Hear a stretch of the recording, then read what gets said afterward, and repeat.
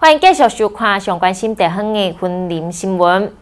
南来乡本所掩埋场伫去年十一月发生火灾，造成六台本所车、资源回收车被烧起。伫环保署的补助以及婚林管政区的协助之下，南来清洁队新增加两台本所车以及三台资源回收车，今日进行验收交车，希望新的设备会当互年前的本所清运作业更加顺利。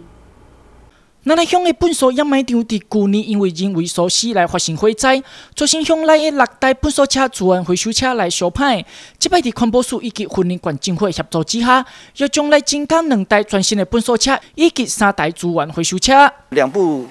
热车车、三部资源回收车呢？那环保署这边用专案的方式哈，来全力的来协助，让整个面对整个即将年关将近，让整个热色清运。哈，路线跟动线的都要完全无异了哈，那真的也要麻烦这所有的乡亲了哈。垃圾分类我们确实把它做到位了哈，才不会去辜负到哦。我们环保署还有我们地方政府，大家齐心协力，共同努力来争取之下这些哈这些好的成绩呢。环保署表示，那里乡伫过去，不管是本所减量，或者是资源回收，也拢有着真好的成果。佢今日验收交车，公所伫咧日后也将会当来增加五台全新的本所车、资源回收车。希望未来一旦和地方的本所清运作业更加顺利进行。呃，今天呃来林内啊，最主要是呃来支持林内乡长哦，他过去从呃垃圾减量等等都做得很不错了。然后当然之前呃发生不幸的事件呢，我们是希望说很快的能够把这些车辆啊支援给他们哦。在这一次的预算，我们大概有一千两百万了，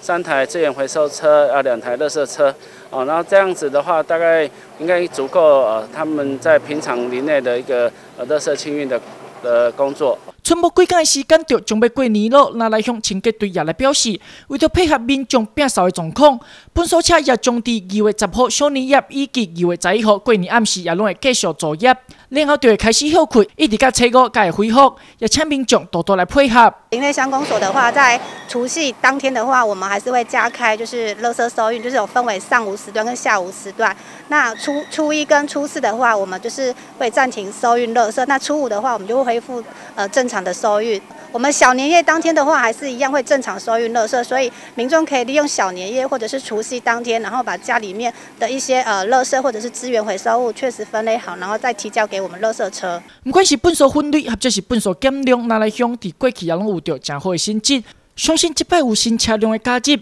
一定让地方的垃圾清运作业更加顺利进行。记者讲义，长报道。